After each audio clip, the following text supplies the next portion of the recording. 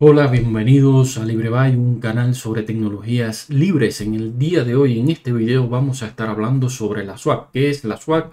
¿Para qué se usa? ¿Cuál es su objetivo? Y para ello tenemos algunos enlaces aquí que les vamos a dejar en la descripción del video. También les vamos a dejar el enlace al canal en la plataforma Library y al blog librebuy.net. Pues para aclarar un poco sobre qué es la SWAP, Vamos a empezar con las preguntas frecuentes que encontramos aquí en el sitio de Ubuntu, que me parece muy buena esta información. Y luego, bueno, vamos a ir consultando los demás, los demás enlaces. Pues, ¿qué es la SWAT? Yo he señalado aquí, lo he resaltado, los conceptos más importantes. No obstante, me parece que este primer párrafo completamente es importante. Lo vamos a estar mirando en su totalidad. Pues la SWAT es un espacio en el disco duro, un espacio reservado en el disco duro. Por lo tanto, lo primero que tiene que tener en cuenta que la SWAT va a ocupar espacio en su disco duro y que forma parte de lo que es la memoria virtual, que es una combinación entre la memoria RAM y la, eh, y la SWAT como tal. ¿Qué, es lo que hace la SWAP? Pues la SWAP lo que hace es que retiene las páginas de la memoria que eh, temporalmente que están temporalmente inactivas. ¿Qué significa esto? Bueno, significa que en los sistemas operativos actuales, sistemas operativos actuales que son todos son multitareas, permite ejecutar varias aplicaciones a la vez, pero hay aplicaciones que reservan memoria y luego hay parte de esa memoria que no se está usando. Por lo tanto, si esa memoria no se está usando, es lógico que si hay otra aplicación que requiere de esa memoria, entonces el sistema operativo tenga un mecanismo de coger esa memoria inactiva y guardarla, ponerla en algún lugar y en, luego cuando se vaya a necesitar recuperarla. Y en sí, este es el objetivo de la SWAT, que también se le llama intercambio de memoria.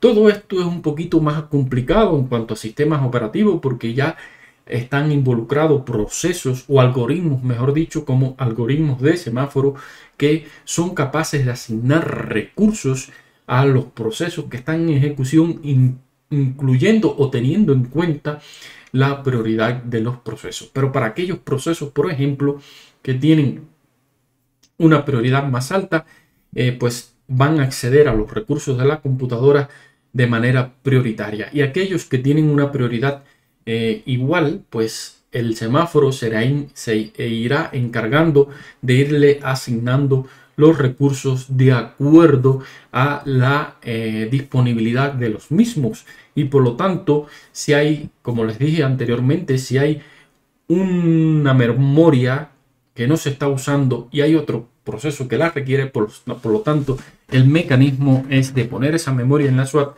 y asignársela a la otra, al otro proceso. Y cuando el proceso eh, padre o el proceso que eh, eh, reservó esa memoria la va a necesitar, pues pasa ese, ese, esa memoria, esa información, la pasa de la SWAT a la RAM. Por lo tanto, se llama intercambio de memoria. ¿Por qué? Porque se está intercambiando información que está en la RAM hacia la SWAT y luego cuando se necesita es el proceso contrario de la SWAT a la RAM. Entonces, pues esto es lo que habla en este primer paso, em, que lo podemos leer acá. Eh, lo otro interesante que podemos ver es que el acceso a la SWAT es lento. Por supuesto que es lento porque el acceso a disco duro es lento. Ojo, no es que es muy lento, se vaya a notar, usted note que, es sumamente o extremadamente lento. No, no, es lento comparado con la RAM. El acceso a la RAM es muy rápido. ¿Por qué? Porque la RAM es un dispositivo que ha sido diseñado con ese propósito. ¿Para qué? Para que para almacenar información y que para el acceso a esa información sea sumamente rápido. O sea, desde el punto de vista de diseño del mismo dispositivo desde el punto de vista de diseño de hardware como tal, la RAM ha sido diseñada para guardar información y para que el acceso a la misma sea sumamente rápido. Mientras que los discos han sido diseñados con otro propósito, el propósito fundamental de guardar información. Por lo tanto, el acceso rápido no es eh, objetivo primordial. No obstante, con las últimas tecnologías y la creación de los discos de estado sólido, por supuesto que esto se ha mejorado mucho y se ha mejorado lo que es el tiempo de acceso a los mismos, pero cuando se comparan incluso los discos de estado sólido con la RAM, hay una diferencia notable. Por lo tanto, hay que concluir, como bien lo dice acá, que el acceso a la SWAT es lento, que por supuesto depende de la velocidad de, de lectura, sobre todo de lectura, de lectura y escritura ¿eh? del disco duro. Lo otro interesante es que la swap puede ser una partición dedicada, ya lo vimos, lo hemos visto aquí en otros videos en el canal, hemos estado hablando de ello cuando hacemos instalaciones de distribuciones, hemos hecho eh, instalaciones creando particiones SWAT y también puede ser un fichero y lo vimos en el día de ayer cómo crear una SWAT en un fichero o una combinación de ambos. Algo que no es común y que no se habla mucho es que usted puede tener más de una SWAT. Ahora, ¿para qué necesito la SWAT? Bueno, la SWAT la necesito mm, precisamente para, eh, para ejecutar aplicaciones en paralelos o aplicaciones multitareas o sistemas operativos multitarea que en las cuales en los cuales puedo tener varias aplicaciones ejecutándose al mismo tiempo. Este es el primer caso. El segundo es eh, para hibernar, algo que es importante en, las computadoras de escritorio, no así en los servidores. Y para este caso se necesita que la SWAT tenga el tamaño de la RAM. Eh, pues para circunstancias inesperadas también.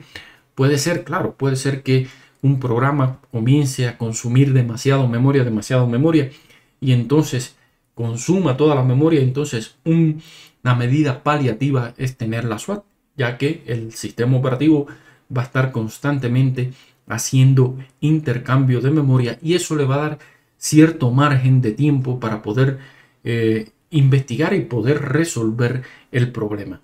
Pues de esta manera quizás por lo menos pueda hacerle eh, o pueda terminar el proceso si ve que hay un proceso que está consumiendo demasiado memoria y eh, a una velocidad rápida, pues puede eh, terminar ese proceso y entonces investigar la causa y mm, resolver el problema y la SWAP, por supuesto, digamos que es una medida paliativa porque el sistema operativo va a hacer intercambio de memoria y no le va a hacer un memory overflow tan rápido.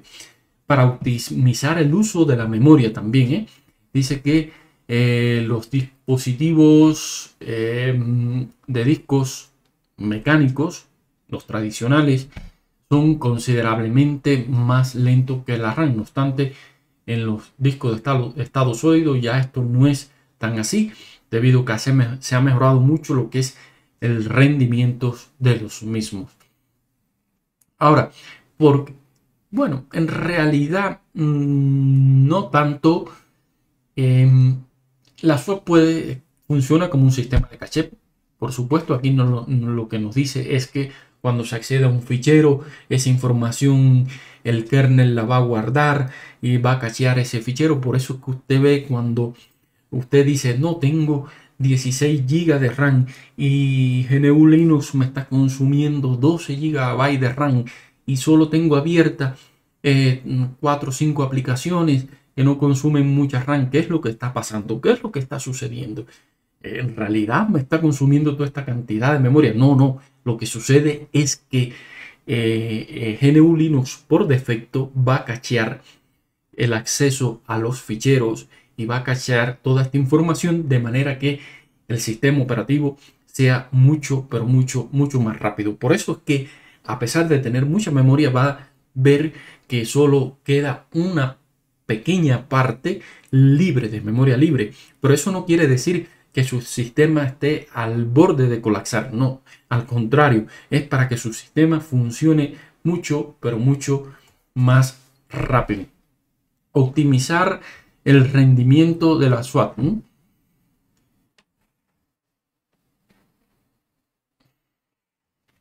Y aquí debí eh, señalar eh, este, esta parte de aquí. Dice que para optimizar el, eh, el rendimiento de la SWAT. Como la SWAT está en disco duro, es un espacio, un área reservada en disco duro. Puede ser que ese mismo disco duro, puede ser que ese mismo disco duro está siendo usado por otras aplicaciones para acceder a la información. Por lo tanto, ese mismo disco duro está sirviendo de, de swap, pero además, por supuesto, está sirviendo para guardar, escribir, acceder a información que existe en ese disco duro. Por lo tanto, una opción y bueno, y esto puede ser eh, algo lento porque el sistema operativo tiene que coordinar todos esos accesos ¿eh? de una manera eh, fluida. Y para coordinarlo de una manera fluida, por supuesto, esto consume y el rendimiento quizás no sea óptimo. ¿Cuál sería una opción o una variante a esto es crear la SWAT en un disco duro solo, en un disco duro solo. O sea, coger un disco duro y decir, no, este disco duro es para SWAT. Y se puede hacer, por supuesto. De esta manera, pues optimiza el rendimiento de la SWAT. El disco duro debe ser de estado sólido o de la, de, de la última tecnología, de los últimos discos duros disponibles en el mercado. Mejor todavía, un disco duro que no tiene que ser tan grande, porque si usted tiene cuánto, 256 eh, GB de RAM en un servidor, con un disco duro de 64 GB, de 120 GB, le es suficiente para, para la SWAT. ¿eh?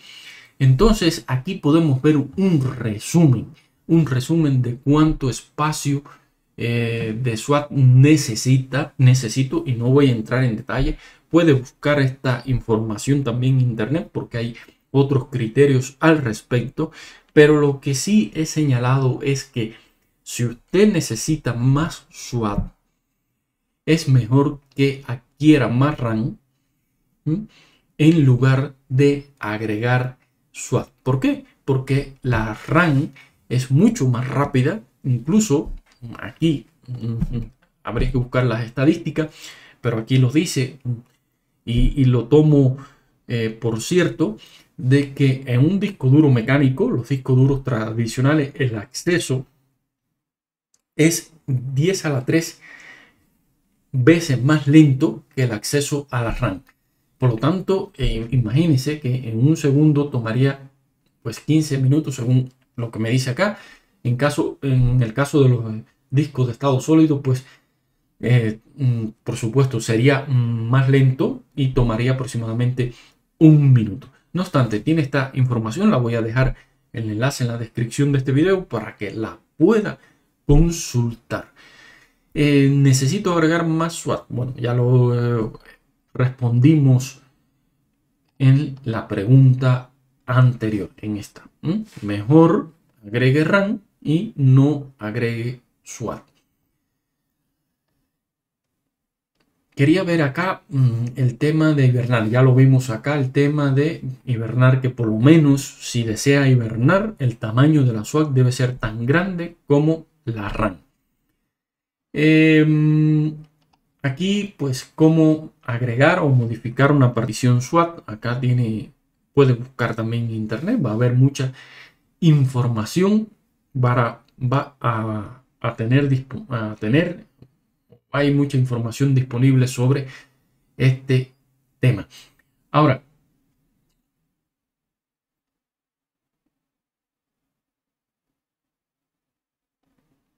interesante esto del, del UID.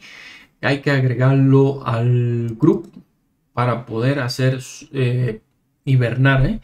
Y se agrega de esta menor manera también hay información al respecto porque si no funciona con el UUID, que es un identificador universal, tiene que buscar en dónde empieza la SWAT como tal y eh, especificarlo aquí en, los parámetros del grupo. Pero no es objetivo de este video. ¿eh? eh como aquí vimos ayer cómo crear una SWAT a partir de un fichero y cómo agregarla. Eh, bueno, acá estamos, usa F al OK, nosotros usamos otra variante, ve el video de ayer, dejo el enlace también a ese video de ayer, cómo eliminar un fichero SWAT que lo que es swappiness. Swappiness es el intercambio como tal, la prioridad. Entre más alto sea el valor, pues más intercambio, más eh, agresivo va a ser el uso de la swap. Por lo tanto, vamos a ver, vamos a ver aquí, por ejemplo, en mi computadora, vamos a ver acá en mi computadora, cuál es el valor que tiene. 60, es bastante agresivo quiere decir que eh, voy a estar usando la SWAT o se le va a dar prioridad a la SWAT eh, alta porque tiene un valor alto, tiene un valor de 60. Incluso para servidores de base de datos se les recomienda un valor de 10. Este es el valor de, de recomendado para eh, servidores de base de datos. De esa manera no constantemente no se hace acceso a disco. ¿eh? y el uso de la SWAT no es tan agresivo. En computadoras de escritorio lo puede dejar en 60, pero también puede disminuirle ese valor en dependencia de la cantidad de RAM que tiene. Yo, por ejemplo, que en, mi computadora de escritorio tengo 32 GB de RAM, quizás pudiera bajarlo a un valor de 40 y experimentar y ver cómo me va. Pues este es el valor que incide directamente en el uso de la SWAT. Em, aquí está relacionado con los contenedores, la SWAT en los contenedores, no vamos a entrar en detalle acá. Dice que em, si necesito reinstalar más SWAT, dice, vamos a partir de la idea que usted tiene ya una partición SWAT creada y se dio cuenta que es muy pequeña. ¿Necesita realmente crear más SWAT? Pues no. ¿Por qué? Porque puede crear un fichero tal y como lo vimos ayer y usar estas dos SWAT. ¿Es posible? Sí, sí es posible usar más de dos SWAT. ¿Cómo es posible? Pues acá la wiki de ARS, y esto es lo que quería ver, ¿eh? nos lo especifica muy pero que muy bien. Y aquí tenemos dos particiones, en este caso dos particiones SWAT, pero por supuesto se pueden reemplazar una por un, por un fichero y va a funcionar eh, perfectamente. Aquí le podemos especificar la prioridad. ¿eh? Aquí le podemos especificar la prioridad. Aquí lo puede ver. Dice que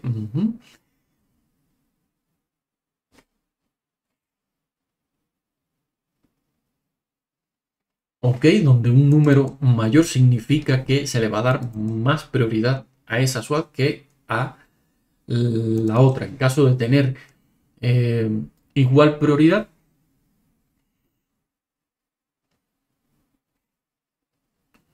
ok, esto es online, esto es para modificar en el FZTAP y esto es para activarla ahí en caliente.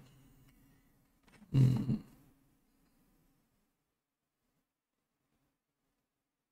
Ok, usa el algoritmo round robin, por lo tanto es un algoritmo aleatorio. Lo pone para esta swap o lo pone para esta otra. De esta manera puede tener mm, una partición, como decía al principio, acá en la PAC. Lo decía al principio, eh, pues lo decía en la FAT que puede ser una combinación, ¿eh? Una combinación de una partición y un fichero swap. Y aquí vemos en la wiki de ARS cómo es posible activarlo en el FSTAP, activar esta swap y va a funcionar así. Por lo tanto, no es necesario. Imaginemos que creamos una partición dedicada para la SWAT. Nos damos cuenta que es muy pequeña. Queremos incrementar la SWAT. Pues creamos la SWAC a partir de un fichero y listo. Lo vimos en el día de ayer. ¿eh? Ve el video de ayer para ver cómo crear una SWAT a partir de un fichero. Pues em, vamos aquí, estábamos en la parte final. ¿Por qué mi SWAT no está siendo usada? Bueno, eso es una buena señal. Si usted tiene muchas aplicaciones abiertas y se da cuenta que su SWAT no está siendo usada, usted tiene, por supuesto, no es que tenga un valor de cero, sino es que tenga un valor aquí de SWAT y vea que en esta columna, ¿eh? en esta columna está en cero. ¿Qué quiere decir eso? Quiere decir que eh, tiene suficiente RAM para que todas las aplicaciones que se están ejecutando en ese momento se puedan ejecutar sin necesidad de usar la SWAT. ¿A qué tributa esto? Pues tributa a que el rendimiento sea mucho mejor que si usaran la SWAT. Por lo tanto, es una buena noticia. Si no está conforme, empieza a abrir aplicaciones y aplicaciones y aplicaciones. En algún momento va a usar la SWAT. Y si esas aplicaciones consumen mucha RAM, pues por supuesto en algún momento va a haber un valor diferente de cero en esta columna que está aquí. Pues si la SWAT no necesita usar, a ver, Vamos a hacer un comentario adicional acá, ¿eh? Vamos a hacer un comentario adicional. Si usted tiene eh, un servidor realmente para escritorios, yo sí creo indispensable usar la SWAT. Pero para servidores no lo veo tan necesario. No cree un fichero SWAT tan grande. Por ejemplo, yo voy a mostrar acá qué desperdicio de SWAT, ¿eh? de espacio en disco duro como pueden ver, la memoria es de 31 GB. En cambio, tengo una SWAT de 55 GB, lo cual representa más de 20 GB de espacio en disco duro eh, desperdiciado prácticamente, porque para hibernar solo necesitaría 31 GB. Entonces, pues estoy quizás usando demasiado SWAT demasiado, ¿eh? estoy usando quizás demasiado SWAT. Y pudiéramos ver con Bitot cuánto de esa SWAT se está usando. ¿eh? Em, de la SWAT, eh, a, ver, a ver, por acá 116 megabytes se está usando. De esos 55 se está usando solo 116 megabytes. Por supuesto, no tengo tantas aplicaciones abiertas tampoco, ¿eh? pero esto le da una idea de que estoy usando más SWAT de la que debiera, más de 20 GB. Entonces esto es un desperdicio de, eh, de, espacio usado en disco duro con este propósito. Y como digo, para escritorio considero indispensable usar la SWAT. Para servidores, para servidores, yo pienso que puede crear una SWAT pequeña. ¿eh? puede crear una swap pequeña, pero si su servidor tiene en el orden de los 500 GB de memoria RAM, entonces yo pienso que no es necesario eh, agregar eh, swap, que todo se use a partir de la memoria RAM. Pero si su servidor no tuviera tanta memoria, entonces lo que recomiendo es distribuir las cargas. Distribuir las cargas. Siempre tenga en cuenta, siempre haga primero un cálculo de cuánta memoria RAM va a usar las aplicaciones que tiene desplegadas en ese servidor y de cuál sería el tope límite límite límite bajo una carga determinada y entonces en lugar de tener SWAT pues tenga eh, solo memoria RAM. Y si va a sobrepasar esa carga pues lo que les recomiendo es que la distribuya en varios servidores las balancee, haga un balanceo de carga y pues escale horizontalmente a su aplicación en lugar de escalarla eh, verticalmente, que en este caso sería agregar más RAM. Pues no, lo que haga es agregue un nuevo servidor con la misma cantidad de RAM y distribuya las cargas. Y así a medida que vaya creciendo su aplicación, su producto, pues va escalando de manera horizontal su aplicación. Y yo evitaría la RAM de manera, digo, la SWAT de manera eh, total, pero si aún tienes determinadas reservas con respecto a quitarla completamente, porque este tema es un poco eh, controversial y hay diferentes opiniones al respecto, pues crea, cree una SWAT. Eh, una SWAT no tan grande, una SWAT que no sea tan pero tan grande, y porque con 502, imagine que usted tenga 200, 256 GB de RAM o 512, no cree una SWAT de ese tamaño, es un desperdicio. Cree una SWAT de 32 GB, es suficiente con eso, ¿eh? Y si es posible, use un disco duro dedicado para eso, con este tamaño, y cree una SWAT específicamente para eso. ¿eh? Cree una SWAT específicamente para eso. Y reduzca la prioridad de hacer swappings, como lo vimos acá arriba, eh, reduzca este valor a un valor de 10 para servidores, póngale 10. ¿eh? Y entonces, de esta manera, eh, reduce la prioridad y el intercambio de, menor, de memoria va a ser menos agresivo. Pues NTSwap. Esto es un script que está muy interesante, puede mirarlo aquí y decir, no, esto qué es lo que hace. Bueno, lo que hace es que coge, cuando coge lo que está en la memoria swap y lo tira para la RAM. Por lo tanto, ¿qué es lo que hace en sí? Lo que hace, vamos a ver acá, vamos a verlo en el ejemplo yo tengo acá, aquí. ¿Qué es lo que hace? Aquí estoy usando 116 MB en la swap. ¿Cuánto tengo de memoria? Miren, miren lo que les decía. ¿eh? Tengo 31 GB de memoria total. Acá usada 7.9 GB. Y tengo libre 1.3 GB. Pero hay cacheada Aquí, como puede ver, 22 GB, era lo que le comentaba al principio. ¿eh? Y cualquiera pudiera pensar, no, estoy ya a, tope con la memoria RAM.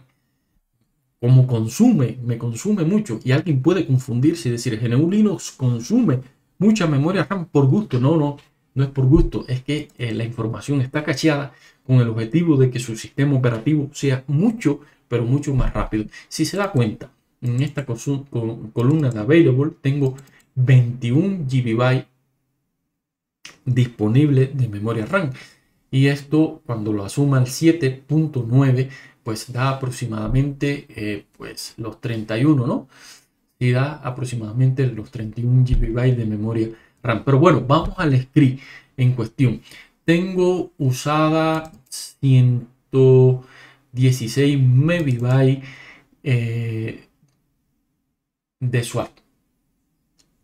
Y tengo memoria libre 21 GB, pero en el script hace uso de la, de la tercera columna, que es acá como podemos ver, print memoria de la tercera, no de la cuarta.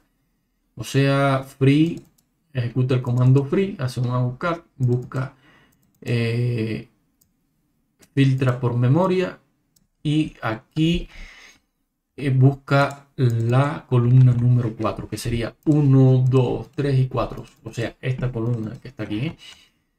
Entonces lo eh, almacena en memoria vamos para la SWAT hace lo mismo, mismo filtra por SWAT y busca la columna número 3 1, 2, 3 que sería esta y luego compara esos dos valores si la memoria libre o sea esta memoria que está aquí es menor que esta que está aquí. Por, por supuesto, no puedo volcar lo que está en, su, en la SWAC a la memoria RAM. Y por eso sale con este error que está aquí. En cambio contrario, hace un swap off o un swap off, que precisamente lo que hace es eso. Un swap off eh, menos A. Lo que hace, que lo que hace es eso, coge lo que está en la swap y lo tira para la memoria RAM y luego activa de nuevo la swap. Esto es lo que hace ese script. Vamos, bueno, ya vimos lo que quería ver en la wiki de Ares. Vamos a ver aquí. Eh, esto está relacionado con particiones swap. ¿eh? está comparando las particiones SWAT con las particiones con la SWAT en un fichero. Dice que tener una partición SWAT, eh, Virtual Memory Expansion, esto también aplica para los ficheros, mejora la estabilidad del sistema, aunque dice que mm, yo creo que esta característica no es tan notable porque lo más recomendable era lo que comentaba. ¿eh? En servidores, no tener SWAT, tener una SWAT pequeña ¿eh? o no tener una SWAT. Y lo que hay que hacer es distribuir las cargas. Eh, soporte para hibernar. no es tan así tampoco. Se dan estas situaciones de out of memory. aunque tenga la SWAT, da. Y hablando de esto, existe un mecanismo que se llama eh, OOM Killer que te va a permitir em, eh, terminar un proceso determinado cuando alcanza cierto límite de uso en la memoria RAM. Pueden buscarlo también en internet. Em, recuperación de emergencia, compatibilidad. Ok, con varios sistemas operativos eh, soportan esta, eh, esta tecnología, este, esta filosofía. Desventaja, espacio, uso de espacio en disco duro, eh, rendimiento lento. Esto no es tan así ya. Esto no es así. Mm, ya lo... No es que usted tenga un disco duro de estado sólido y le active la swap y no, mañana ya se me va, de aquí a dos meses, no, de aquí a seis meses, ya ese disco duro no va a servir. Ah, no, de aquí a, a un año. No, eso no es así. Mi disco duro de estado sólido tiene más de, más de cinco años.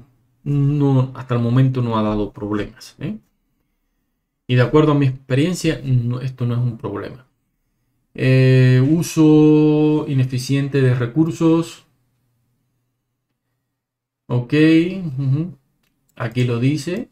Ok, perfecto, añadir más RAM. Y distribuir las cargas, yo le agregaría eso. Administración compleja. Sí, puede ser que sí.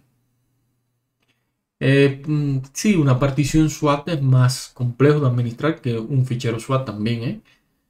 Fragmentation, como es una partición, como todas las particiones se fragmentan, también la partición SWAT se fragmenta flexibilidad limitada y un riesgo eh, de seguridad potencial. ¿Por qué es un riesgo de seguridad potencial?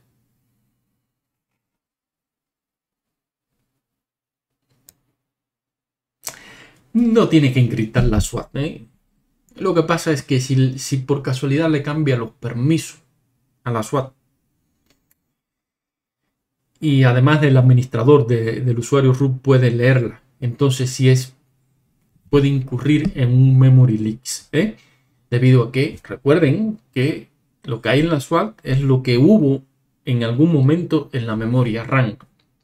Por lo tanto, sí puede ser un riesgo de seguridad si no tiene en cuenta este detalle.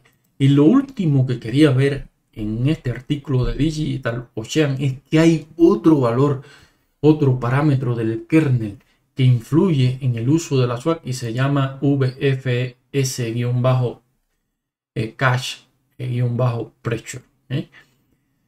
Eh, esta información, que yo creo que vale la pena analizarla en profundidad, los invito a buscar información al respecto, pero está relacionada con la información de los ficheros, específicamente lo relacionado al número de inode y, em, y establece cuán agresivo puede ser el uso mm, de esta información, no el uso, sino el cacheo como tal de esta información. No voy a entrar en detalle.